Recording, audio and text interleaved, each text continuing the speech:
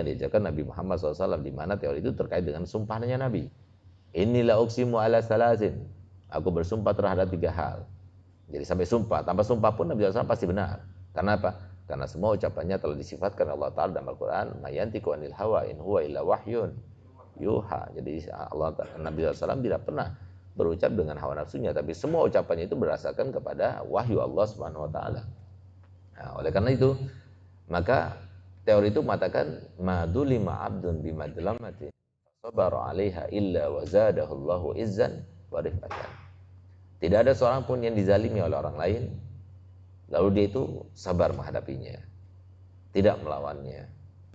Dia tidak membalasnya. Maka apa yang terjadi padanya? Kecuali pasti Allah akan menambah kemuliaannya. Allah akan menambah tinggi derajatnya. Nah, jadi yang beruntung kalau kita sabar ya seperti itu. Tapi kalau terkait dengan diri kita, kita dihinakan, kita direndahkan, kita dicuekkan, kita nggak dihawes, nggak ada masalah.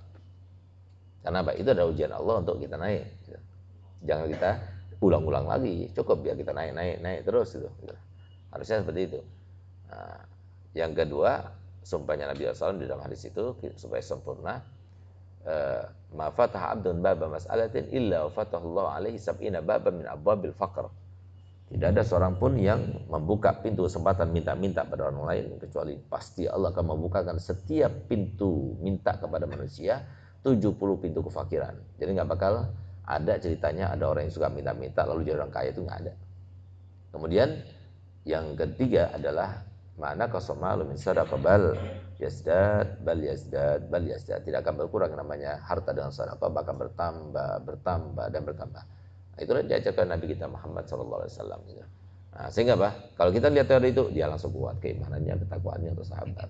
Tapi ketika kita eh, apa dicederai Eh, kehormatan keluarga kita, guru kita, nabi kita, agama kita, itu jadi ya Itu artinya kata Imam Syafi'i maistug di bawah. Nah, Imam Syafi'i sendiri yang mengatakan e, kaidah itu beliau itu sabarnya luar biasa. Imam Syafi'i itu pernah suatu waktu dia itu e, teman-temannya ingin menguji kesabarannya. Bagaimana caranya? Nah, caranya ketika dia itu diketahui telah membuat sebuah e, pakaian ya menjahit pakaian, maka kemudian tukang jahitnya itu didatangi oleh teman-temannya. Gini, kamu ikuti aku ya, nanti kamu aku akan berikan uang lebih. Tiga kali lipatnya daripada yang diberikan Imam Syafi'i itu. Gimana caranya? Kamu bikin baju yang kanan itu lebar banget. Lengan kanannya lebar banget. Tapi yang kecil lengannya sempit banget gitu. Bikin seperti itu ya. Baik. Sudah. Pas pada waktunya sesuai dijanjikan Imam Syafi'i datang.